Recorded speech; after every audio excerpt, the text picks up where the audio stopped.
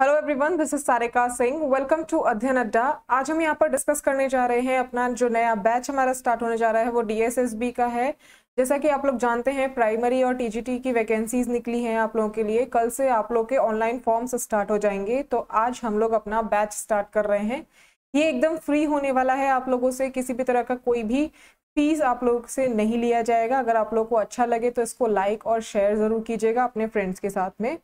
तो चलिए, ये हमारा लेक्चर वन है और आज हम यहाँ पर डिस्कस करेंगे प्रीवियस ईयर के क्वेश्चन पेपर एक बार हम पहले देख लेते हैं कि किस टाइप के क्वेश्चंस आप लोगों के एग्ज़ाम में आते हैं, फिर उसी तरीके के तैयारी हम आपके साथ में मिलकर करेंगे, ठीक है? तो यहाँ पर हम स्ट्रेटेजी भी उसी के अकॉर्डिंग बनाएँगे। पहले हम यहाँ पर प्रीवियस ईयर के कुछ क्वेश्चंस हम यहाँ पर देखेंगे। क्वेश्चन जैसे कि आप लोग को पता होगा, जो प्रीवियस ईयर आप लोगों ने अगर देखा है या पेपर दिया है तो आप लोग को जानकारी होगी कि इंग्लिश का जो सेक्शन है वो पूरा ग्रामर बेस्ड आता है और ट्वेंटी क्वेश्चन आप लोगों के यहाँ पर पूछे जाते हैं। तो चलिए देर नहीं करते हुए पहला क्वेश्चन आप लोग की स्क्रीन पर which of the following word is correctly spelled आप लोगों को करेक्ट स्पेलिंग बतानी है करेक्ट स्पेलिंग क्या है? कम्युनिकेशन की पूछ रहा है तो कम्युनिकेशन की स्पेलिंग आप लोग देख सकते हैं तो यहाँ पर ए करेक्ट है। कम्युनिकेशन की जो राइट right स्पेलिंग है, वो यही होती है। नेक्स्ट पूछ रहा है बिज़नेस की करेक्ट स्पेलिंग तो बिज़नेस की करेक्ट स्पेलिंग होती है बी जिसमें सिंगल एस यहाँ पर आता है और डबल एस आएगा, ठीक है? नेक्स्ट क्वेश्चन यहाँ पर। In the following question choose the word which है similar meaning to the word in capital जो कैपिटल में आपको वर्ड दिया गया है, उस वर्ड के, यानी कि इस वर्ड के सेम मीनिंग आपसे पूछा है, यानी कि सिनोनियम पूछा है आपसे तो इनफ्रिंज इनफ्रिंज का जो सिनोनियम यहाँ पर पूछा है कि क्या होगा? इनफ्रिंज का मतलब क्या होता है? इनफ्रिंज का मतलब होता है उल्लंघन करना, ठीक है? उल्लंघन के लिए ये यूज़ किया जाता है, किसी चीज़ का उल्लंघन करते हैं तो उसके लिए इनफ्रिंज वर्ड का यूज़ होता है। अब यहाँ पर डिस्कस ट्रांसपायर वायलेट या नन ऑफ़ द अबब उसमें आपको पहचानना है कि इनफ्रिंज का सेम मीनिंग क्या होगा तो इसका सेम मीनिंग होता है वायलेट ठीक है? क्या होता है? वायलेट डिस्कस का मतलब होता है चर्चा करना, आप लोग को पता होगा डिस्कशन और ट्रांसपायर का मतलब होता है कि एवोपरेट हो जाना, हवा में उड़ जाना या भाप बन के उड़ जाना, ठीक है? एवोपरेट हो जाना. नेक्स्ट यहाँ पे वर्ड है कॉन्टिगियस कॉन्टिगियस का मतलब होता है लगातार. इसको हम ऐसे भी ले सकते हैं, लगातार या फिर जो मिला हुआ है. ठीक है, अगर आपके साइज़ मतलब घर होते हैं, जैसे घर की दीवारें होती हैं, वो मिली हुई होती हैं और लगातार भी होती हैं तो उसको हम कॉन्टिग्यूस वॉल्स बोल देते हैं, ठीक है? तो यहाँ पे कॉन्टिग्यूस का मतलब हो गया क्या? मिला हुआ, ठीक है? मिला हुआ, इसका जो सिमिलर मीनिंग होगा या इसका सुनोनियम वर्ड होगा, वो क्या है? टचिंग टचिंग का मतलब भी क्या है? जुड़ा हुआ या मिला हुआ। अगर आप किसी को टच करोगे तो उससे क्या होगा? आपका स्पर्श होगा और वो क्या है? मिला हुआ। उसी तरीके से यहाँ पे इनकरेजिबल का अगर मतलब मैं बताऊँ तो इसको होता है जैसे आ, किसी चीज़ में सुधार नहीं कर सकते ठीक है? इनकरेजिबल उसके लिए यूज़ किया जाता है। नेक्स्ट यहाँ पे आते हैं क्लोज्ड तो क्लोज्ड का मतलब आप लोग को पता होता है बंद तो इसका क्या होगा आप लोग के लिए? क्लोज का मतलब आप लोग को पता है यहाँ पर क्लियर होगा शट होगा फिनिश्ड होगा या इनमें से कोई नहीं होगा। आप लोग देख रहे हैं कि इसी तरह के क्वेश्चंस आप लोगों से पूछे जाते हैं। ठीक है तो क्लोज का मतलब क्या होगा? शट होगा। या तो शट द डोर बोलते हैं या क्लोज द डोर बोलते हैं। तो सेम ही मीनिंग होता है इनका। ठीक है, यहाँ पे आपसे सिनोनियम पूछे गए हैं। नेक्स्ट आता है यहाँ पर पैसेज अब पैसेज को पढ़ना है या नहीं पढ़ना है वो उसके क्वेश्चंस पे डिपेंड करता है, लेकिन हम यहाँ पर पहले एक नज़र पैसेज पे मार लेते हैं। ठीक है, जल्दी से रैपिडली आप इसको बिल्कुल जल्दी से इसको पढ़िए। ठीक है? There was a narrow rope bridge across a deep river. The bridge was so narrow that only one person could cross it at a time. It also shook a great deal because it was made from ropes. The bridge was high above the river. One day a goat was crossing the rope bridge. From the other side, another goat decided to cross the bridge at the same time. The goat met in the middle of the bridge. The two goats try, tried to walk past each other, but the bridge was too narrow.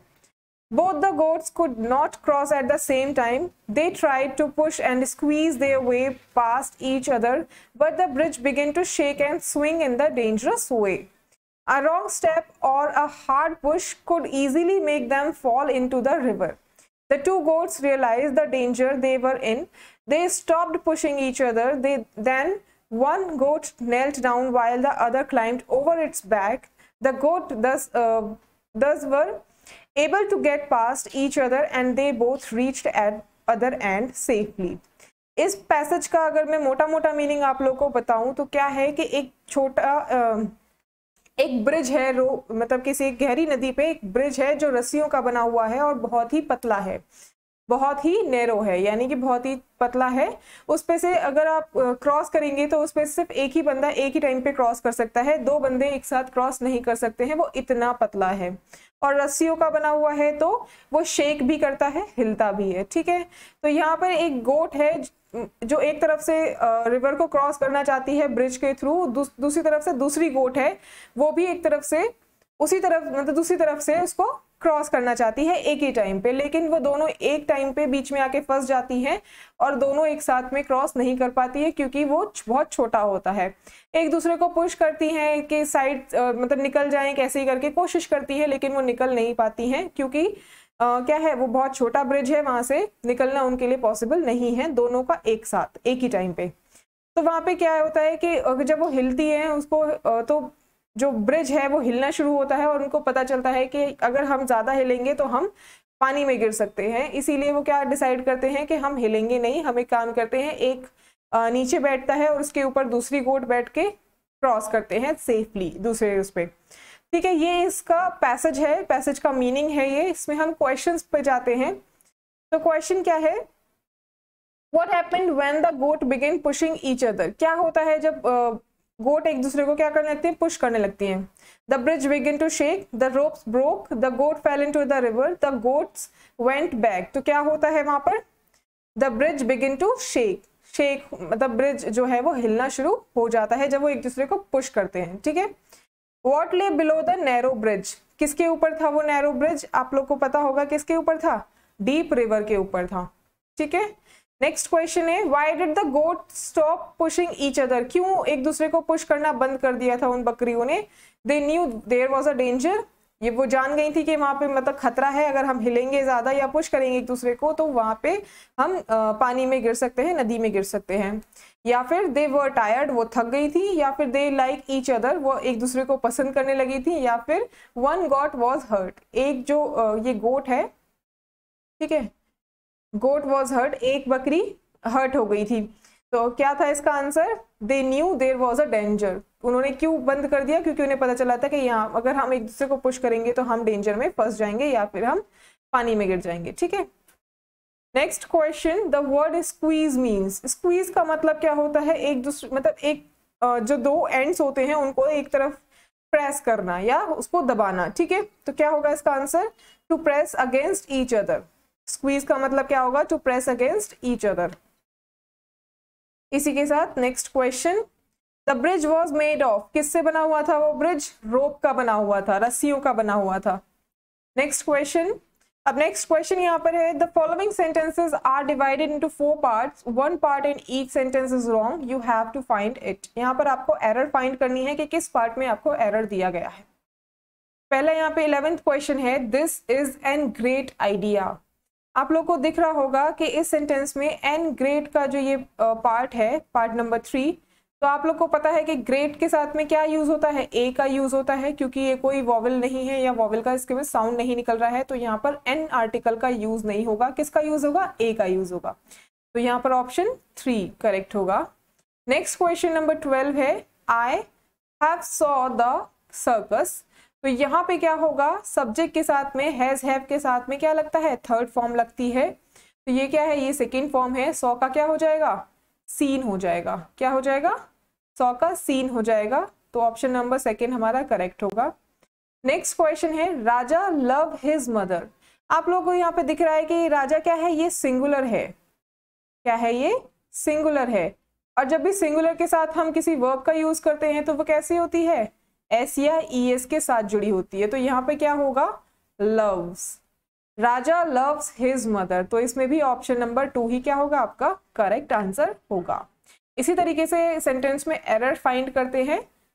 चलिए next चलते हैं यहाँ पर। Question number fourteen I put the milk the glass क्या आएगा? In with in to या फिर to इसमें क्या आएगा? कहाँ पर मिल्क डाल रही है, वो ग्लास में डाल रही है तो किसी चीज़ को डालने के लिए, जब किसी चीज़ के अंदर कोई चीज़ जाती है तो उसके लिए क्या यूज़ होता है? इनटू यूज़ होता है। क्या यूज़ होता है? इनटू ठीक है? Next question I met her the junction कहाँ पर मिला वो? जंक्शन पे मिला तो ऑन बाय एट बिलो इनमें से क्या आएगा? तो क्या आएगा यहाँ पर? एट आएगा एट द जंक्शन क्योंकि उसने एक लोकेशन दी हुई है कि मैं उसको एक जंक्शन पे मिला। नेक्स्ट क्वेश्चन है आई टेस्टेड आइसक्रीम टुडे तो यहाँ पे क्या आएगा, आप लोग देख रहे हैं, यहाँ पे क्या है? आई के साथ में क्या आएगा? एन आएगा। क्या आएगा? An next question question number seventeen complete the following sentences by selecting the best alternative इस सेंटेंस को कंप्लीट करना है, इन ऑल्टरनेटिव में से चूज़ करना है आपको। I thought I should my experience share with you experience you with share my share my experience with you या फिर share your experience with me तो यहाँ पे क्या आएगा? Share my experience with you correct sentence का जो formation है वो किस तरीके से बनेगा? I thought I should share my experience with you next question इसको भी आपको कंप्लीट करना है. I am planning a holiday for ten in Shimla days in ten in days for ten Shimla या फिर in Shimla for ten days या in Shimla for days ten तो यहाँ पे आप करेक्ट सेंटेंस क्या होगा ये? I am planning a holiday in Shimla for ten days correct sentence का फॉर्मेशन आप लोग का यही होगा। Next question given below are four sentences marked as one two three four find the correct order of the sentences to make a paragraph यहाँ पे आपको ये चार सेंटेंस दिए गए हैं। इनको आपको एक पैराग्राफ में अरेंज करना है और आपको बताना है कि कौन सा सेंटेंस आपके पैराग्राफ के according first second third fourth rank पर आएगा। ठीक है? सेंटेंस पढ़ लेते हैं। सेंटेंस क्या क्या है हमारे पास? If he if he is hurt he carries his house with him tortoise in a strange animal is a strange animal ये इज़ है। He draws his head into his house तो यहाँ पे आप किससे शुरू करेंगे इसको? यहाँ पे दिख रहा है किसके बारे में बात हो रही है, पैराग्राफ में। टॉटॉइज के बारे में बात हो रही है। तो इस सेंटेंस को हम पहले ले आते हैं। Tortoise is a strange animal. तो ये हमारा पहला सेंटेंस हो गया। नेक्स्ट सेंटेंस क्या होगा? He carries his with his house with him वो अपना हाउस अपने साथ कैरी करता है। ठीक है? इसीलिए क्या है? स्ट्रेंज है। तो पहले आ गया। थर्ड सेंटेंस उसके बाद सेकेंड उसके बाद में इफ़ ही इज़ हर्ट अगर वो हर्ट होता है तो he draws his head into his house तो पहले क्या, यहाँ पे क्या आएगा? पहले फ़र्स्ट सेंटेंस और फिर फोर्थ ये आपका करेक्ट सेंटेंस बनेगा। क्या बनेगा? पैराग्राफ क्या बनेगा? Tortoise is a strange animal he carries his house with him tortoise एक स्ट्रेंज एनिमल है और वो अपना घर अपने साथ में कैरी करता है। अगर उसको कोई चोट लगती है या कुछ उसको मुसीबत दिखाई देती है तो वो अपना जो सर है, वो अपने घर में घुसा लेता है या अंदर कर लेता है, ठीक है? तो ये क्या हो गया आपका? करेक्ट सेंटेंस का फॉर्मेशन हो गया है। थ्री टू वन फोर यानी कि कौन सा ऑप्शन है आपका? ऑप्शन नंबर सी आपका करेक्ट इस सेशन का लास्ट क्वेश्चन है क्वेश्चन नंबर ट्वेंटी इसमें भी आपको ये ऑर्डर अरेंज करना है पैराग्राफ अरेंज करना है आपको। It entertains us and gives us pleasure without it life is incomplete music is an art या फिर it is a part of every days life तो यहाँ पे आपको पता चल रहा है कि सब्जेक्ट ढूंढना है हमें सबसे पहले कि किसके बारे में बात की जा रही है। तो किसके बारे में बात की जा रही है? म्यूज़िक के बारे में बात की जा रही है। सब्जेक्ट हमको कहाँ मिल रहा है? इस सेंटेंस में मिल रहा है थर्ड सेंटेंस में। तो बिना कुछ देखे बारे थर्ड सेंटेंस को फ़र्स्ट पोजिशन पे रख लीजिए। उसके बाद यहाँ पे क्या है? Music is an art without it without it life is incomplete इसके बारे में ही बात हो रही है कि इसके बिना क्या है? लाइफ इनकम्प्लीट है तो सेकेंड आए या फिर रुकिए। इसके बाद में सेकेंड भी आ सकता है, लेकिन हमारे साथ में क्या होगा? यहाँ पे थर्ड आएगा, और उसके बाद में कौन सेंटेंस आएगा? क्या है? म्यूज़िक एक आर्ट है, और ये क्या करती है? It entertains us and gives us pleasure ये हमें एंटरटेन करती है और प्लेजर देती है। तो फ़र्स्ट इसके बाद फ़र्स्ट सेंटेंस को लगा लीजिए। अगेन उसके बाद में without it life is incomplete इसके बिना लाइफ क्या है? इनकम्प्लीट है। तो सेकेंड इसके बाद आएगा, और फिर बचा हमारा फोर सेंटेंस तो ये हमारा सेंटेंस का फॉर्मेशन हो गया है। ये सब आपको समझाया जाएगा। सारी ट्रिक आपको समझाई जाएगी किस तरीके से क्वेश्चन को सॉल्व करते हैं। यहाँ पर तो सिर्फ़ हमने एक जनरल सा आइडिया लिया है कि किस तरीके के क्वेश्चंस आपके एग्ज़ाम में आते हैं। लेकिन अगर आप इसको डीपली पढ़ना चाहते हैं तो हमारा बैच ज्वाइन कर सकते हैं। डीएसएसबी का पीआरटी बैच फ्री है एकदम। आप लोग को कोई भी पेमेंट इसके लिए नहीं करना है। अगर आप लोग को अच्छा लगता है तो हमारी पेमेंट सिर्फ़ इतनी ही होगी कि आप इसको लाइक करें शेयर करें चैनल को सब्सक्राइब करें और बेल आइकन को प्रेस ज़रूर करें ताकि आपको टाइमली अपडेट्स मिलती रहे।